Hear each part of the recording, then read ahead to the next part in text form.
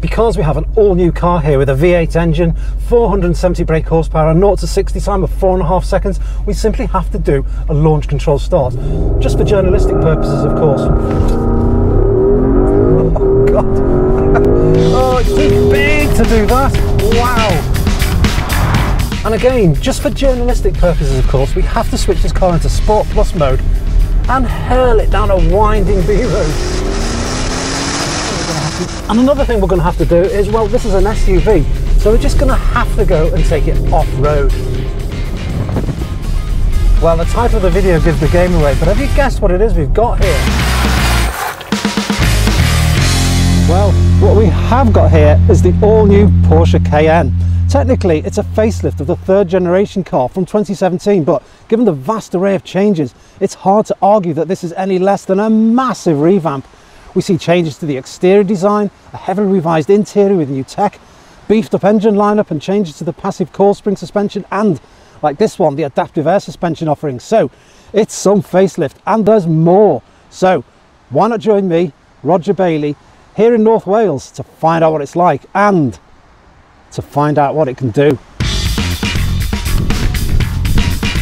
And it's like, well, we've got a big Brawny V8 of course, so it's like this. and it sounds like this.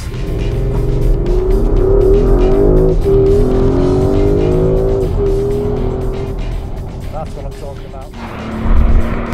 And when you swing the steering wheel this way and that, it handles like a Macan GTS, which is a big compliment, although this car is more luxurious. Okay, so we're going to calm things down a little bit now. We're going to turn the air suspension into luxury mode and we're going to park up and take another good look at this car.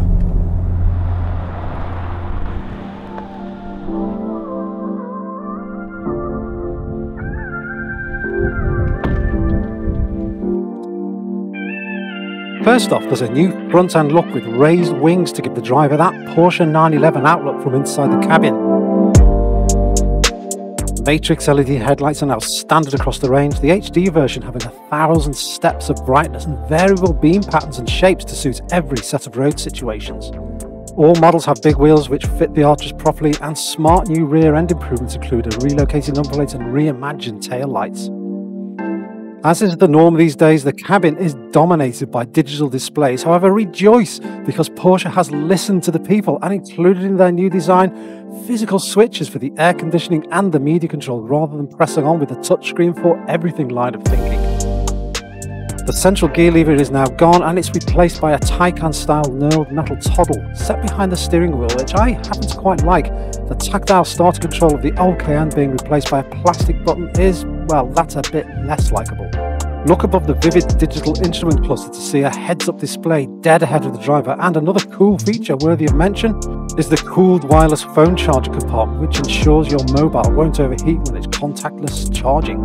The feel inside this sizable, crisp new cabin is that of high-end luxury with quality touchpoints and controls everywhere you look, which all amounts to a sumptuous feel and a promise of miles being covered in smooth riding comfort. So, how does this much heralded all-new suspension affect things? So this new car rides and handles better than the previous Cayenne. And it's not just Porsche Voodoo that's doing that.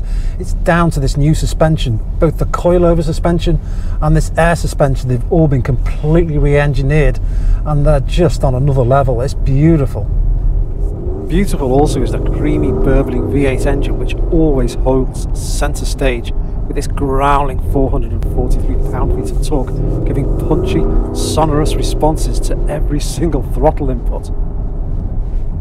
Unfortunately, we don't have the world-beating PDK gearbox in this car. However, this automatic is doing a pretty good job of impersonating that PDK box. It's class leading.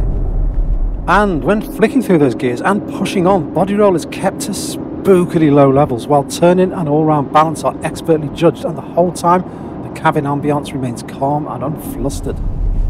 Well, the last time I got this warm, cosseting luxury feeling out of a car, I was actually in the new Range Rover, and this Cayenne is doing a good job of imitating that car.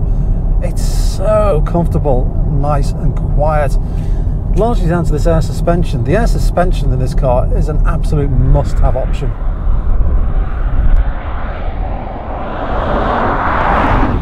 Road noise. Well, road noise is an ever-present thing in Porsche cars because they all ride on massive tyres to give them the handling and the grip that we expect.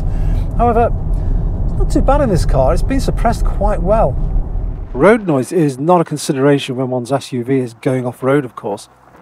And, well, for journalistic interest, once again, we really ought to try driving our Cayenne along a rally stage. And perhaps we should try possibly driving around a disused quarry which we happen to have come across. One does get the feeling that this very capable road car gets its capability for handling the rough stuff as a byproduct of Porsche's overcommitment to excellence. So what do I mean by that? Well, what I mean by that is Porsches are sports cars first and foremost, yet when you put premier German engineering into a sturdy, high-riding SUV body, one with very best suspension and a punchy engine, you inherently get competent off-road vehicle, yet it's odd that Porsche don't seem to market this car as such. Yet that really is a rally stage and it's used in the Rally of Great Britain on a regular basis. Back on the tarmac and it hits you just how much the body roll has kept to spooky low levels. Thankfully this handling competence doesn't come at the expense of comfort and refinement for our Cayenne with a twist of the switch can so easily set aside its sporting abilities for a secure, relaxed driving gait that every luxury SUV really ought to specialise in. Even with the larger wheels, the isolation of bumps and ruts into the cabin is exceptional and delivers arguably the most luxurious experience you'll find in any car coming out of Stuttgart. And so we found out that the latest Cayenne is sharper than ever before and now features an impressively modern, sophisticated interior with a smarter new overall look together with increased performance throughout the range.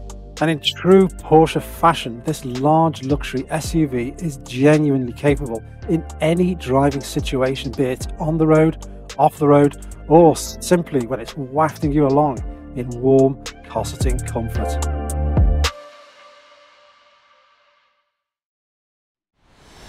Just as rivals sensing an open goal, seeing an aging Cayenne, Porsche goes and delivers a big makeover that sends its Halo SUV back to the top of the pile.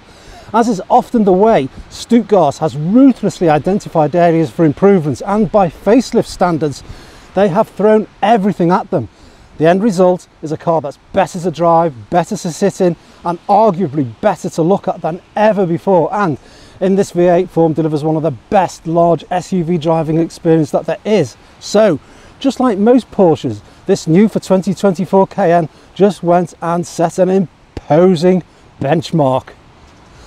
Hope you've liked this video. If you have, please click the like button, subscribe if you haven't already, and please leave me a comment. I read every single one and I'll reply to most. And hopefully, I'm going to see you on the next one.